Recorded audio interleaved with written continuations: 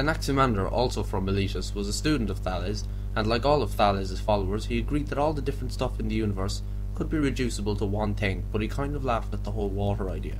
If everything was made out of water, why hasn't everything gone back to being water? he argued. If this was really how Anaximander saw things, then he would have been one of the first people to point out the principle of entropy, which states that all things seek a state of equilibrium. Remember, we're only basing what we know of the pre-Socratics based on Aristotle's accounts. For Anaximander, the ultimate stuff of the universe couldn't be one of the four elements.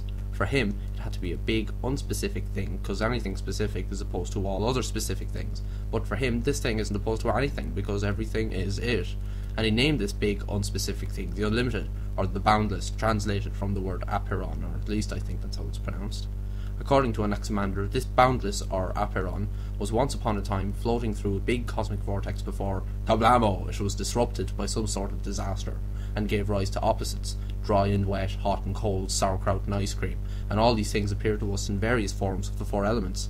And these four elements become their own opposites in antagonistic ways, but balance each other out ecologically. For example, during a time where one element reigns supreme, let's just say water during a flood, then it's eventually going to be balanced out by its opposite at some other time, say, I don't know, fire during a forest fire or drought or something. Now, according to Aristotle, there are a few other ideas attributed to Anaximander. Here's a few of them. 1. Because of the plurality of all things, there must be a plurality of universes. 2. The Earth needs no support because it's smack bang in the middle of the universe, or at least our own, and is equidistant from all things. Remember Thales' log floating idea? And number 3. The four elements are in charge of different circles of the cosmos. Earth is the heaviest, so it's in the centre. Then there's a nice, lovely layer of water sitting around it wherever it can. Then there's a big cushion of air around the Earth and the water. And then there's the lightest element, fire, out at the very edge, but we can only see it through pinprick punctures in the sky, which is his explanation for stars.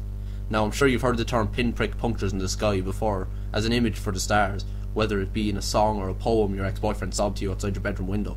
Well, it came from Anaximander, not the phrase, but the image, and it's been referenced right up to the 7th century, even after the death of Copernicus. You'd imagine after all that time, people would have realised that Anaximander was, you know, wrong. Anyway, next up in the series, Anaximenes.